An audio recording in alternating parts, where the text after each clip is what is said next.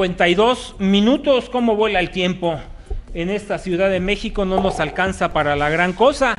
Y comentábamos al principio de ese noticiero con respecto a las marchas que se vienen realizando en nuestra ciudad capital, la capital de todos los mexicanos. El día de hoy, PRD, encabezado por Juan Hugo de la Rosa García, marcharon del Ángel de la Independencia hacia Los Pinos, exigiendo al presidente de la República y al secretario de Hacienda que se les dé el presupuesto de 2016, que hasta ahorita no se los han dado, no les han dotado de los recursos. Tenemos en la línea al presidente municipal Juan Hugo de la Rosa García, presidente municipal del municipio de Nexahualcoyot, se ha dicho de paso, el segundo municipio más poblado del Estado de México. Eh, señor presidente Juan Hugo de la Rosa García, te agradezco mucho el que nos hagas el favor de tomar la llamada. No, al contrario, Eduardo, aquí estamos con todo gusto atendiéndola. Preocupados en esta Ciudad de México, quienes habitamos, lo primero que vemos es bloqueos, eh, la vialidad un desastre, personas que no pudieron llegar a su trabajo, a sus casas, a hospitales, eh, realmente la situación pavorosa. ¿No hay otras instancias como para hacer valer el derecho, señor presidente? Mira, eh, desgraciadamente eh, nos han orillado a esta a tener que hacer uso de este derecho que tenemos. Sí, dice, dice, dice y reza el dicho que eh, la manifestación es la última instancia que tiene la sociedad para hacer valer sus derechos ante la autoridad. Y yo eh, te vuelvo a preguntar, ¿no hay otros mecanismos? Eh, ¿Por qué venir, por ejemplo, a la Ciudad de México y lesionar a tantos y tantos ciudadanos con marchas de este tipo?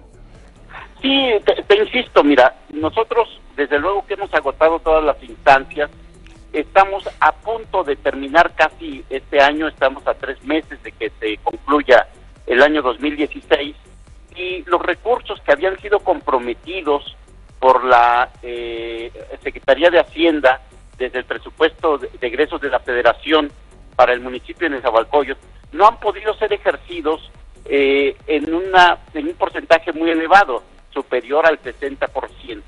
Esto, desde luego, que está vulnerando las posibilidades de la, de la población del municipio de resolver los problemas tan graves que tenemos.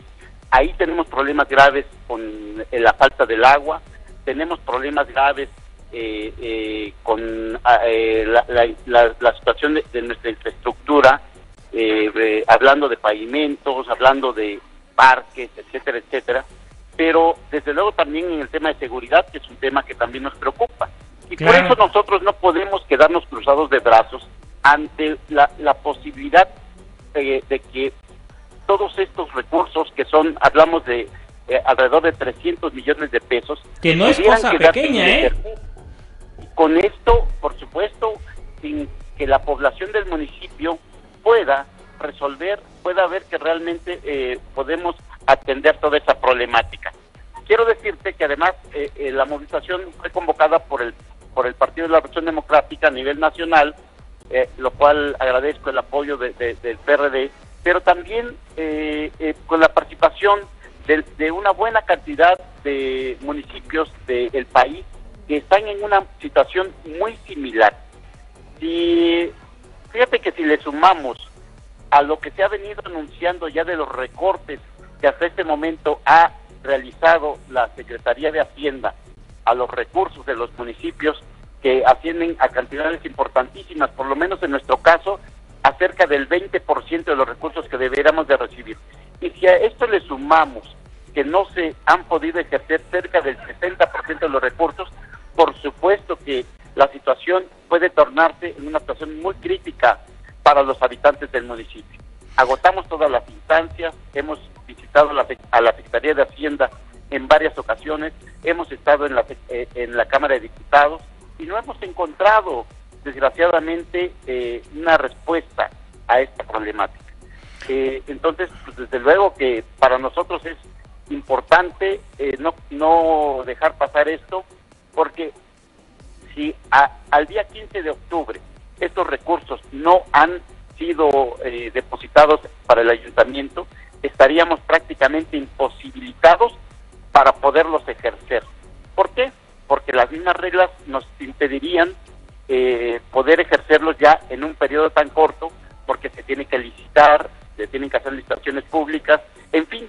Entonces, por eso es que si ves a unos cuantos días de que este periodo crítico venza, es cuando hemos hecho una acción eh, de, esta, de esta contundencia para poder buscar que estos recursos lleguen al municipio.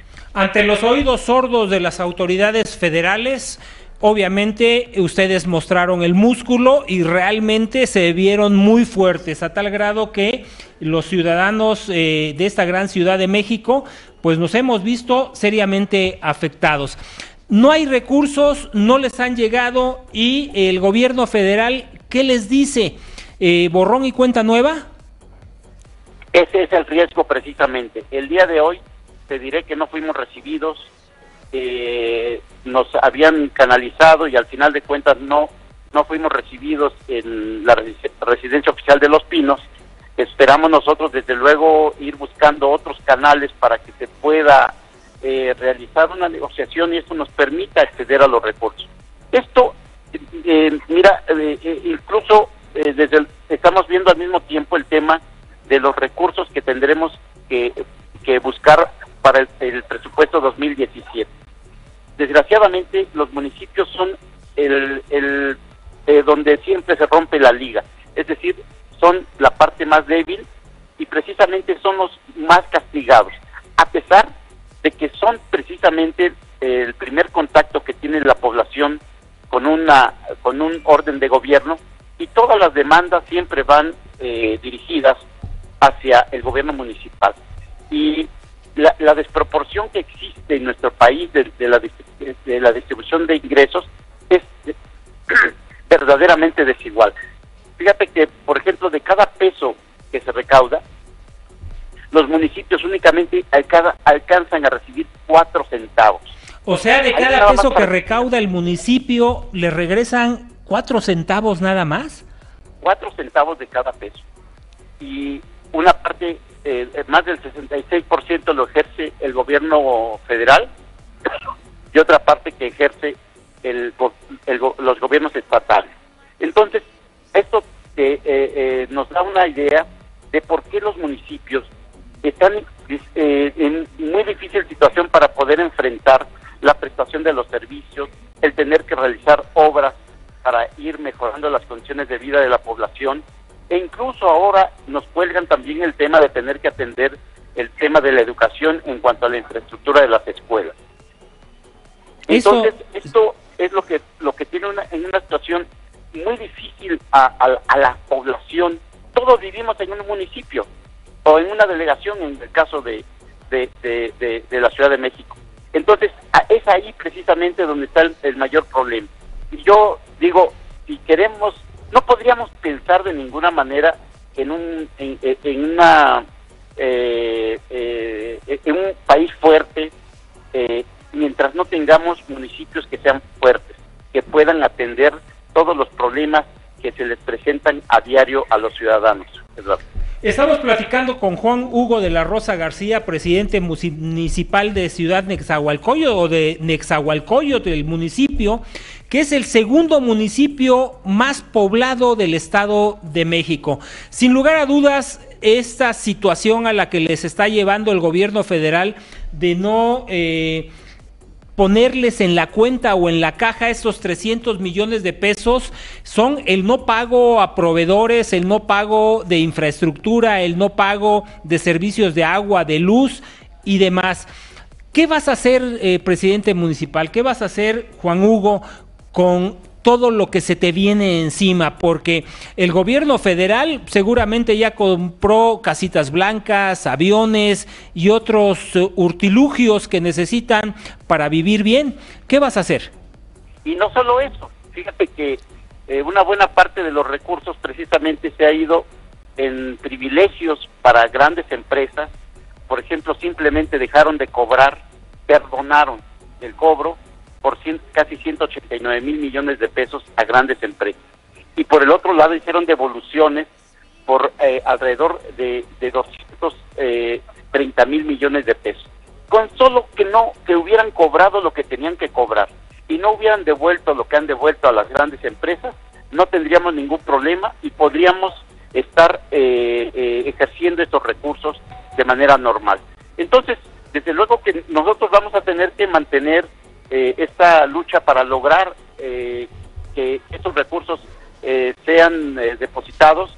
Mm, yo lamento realmente el que tengamos que, que, llegar hasta este grado y generar este malestar o esta, estos, esta situación para los habitantes de la Ciudad de México pero créanme que no tenemos otra otra salida y desde luego estaremos buscando hacer otras acciones que generen el menor este eh, conflicto posible y desde luego porque sabemos que a, final de cuentas estamos afectando también la calidad de vida de todos los que viven aquí en la Ciudad de México. Entonces, eh, vamos a seguir en esta lucha, eh, vamos a, buscar que el 100% de los recursos que están comprometidos desde el presupuesto de, eh, de la federación sean depositados en, eh, eh, en, tiempo para que puedan ser ejercidos todavía en este año. Y, desde luego también batallarle para que los recursos del próximo presupuesto 2017 sean los adecuados para nuestro municipio. Nuestro municipio tiene un maltrato especial.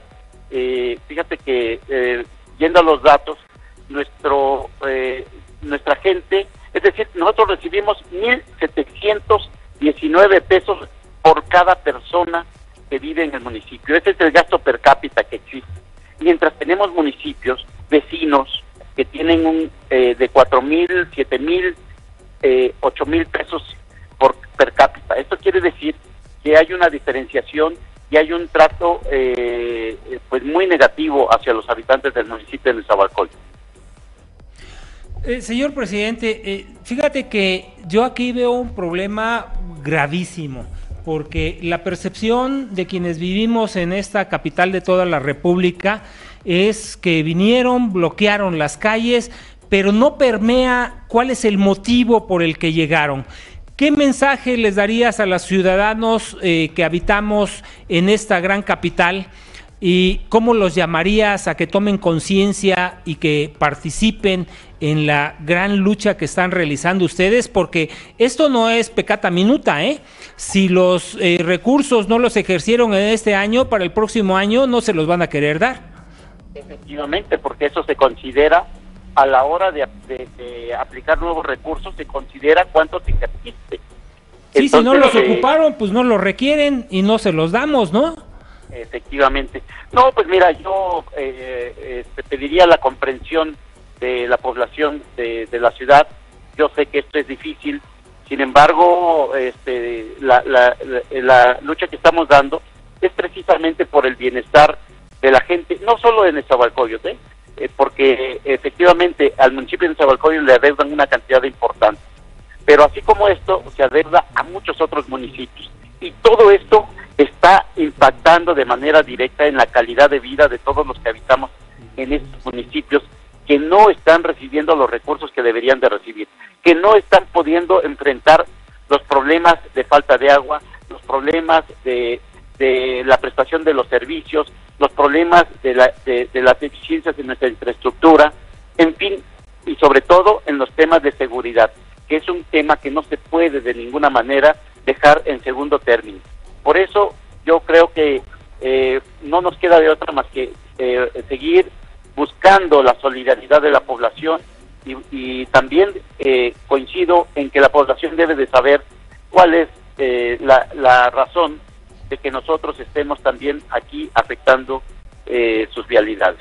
Si me lo permites, me gustaría que fuera uno de nuestros reporteros, Rubén Labastida, que es el que cubre la fuente de la Ciudad de México, a tu municipio para tomar testimonio de aquellos habitantes, de las personas que están viviendo esta situación, para que podamos mediante video levantar imágenes, hacer conciencia de qué es lo que está sucediendo como un botón de muestra de lo que eh, nos estamos afrentando los eh, ciudadanos en esta gran República Mexicana.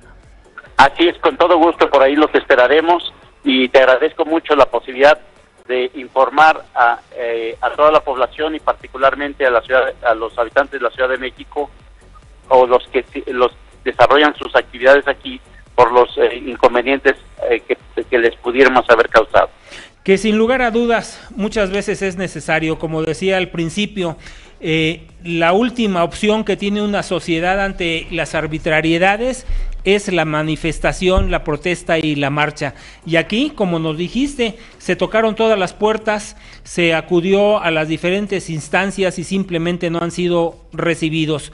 La fuerza, el músculo hay que demostrarlo porque si no, como ha pasado en muchísimas ocasiones, no pasa nada, ¿no?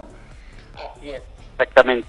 Y no podemos nosotros, ante la responsabilidad que tenemos de gobernar, eh, y particularmente en mi caso, a más de un millón doscientos mil habitantes, eh, quedarnos como si nada pasara y, y, simplemente este, aceptar las cosas como vengan. No, tenemos que levantar la voz y tenemos que defender el interés, los derechos de la población. Sin lugar a dudas, te agradezco mucho, Juan Hugo de la Rosa García, presidente municipal de Nexahualcoyot, el que nos hayas hecho el favor de tomar la llamada y vamos a estar al pendiente, le damos seguimiento al tema. Al contrario, muchísimas gracias a ti y a, y a tu auditorio.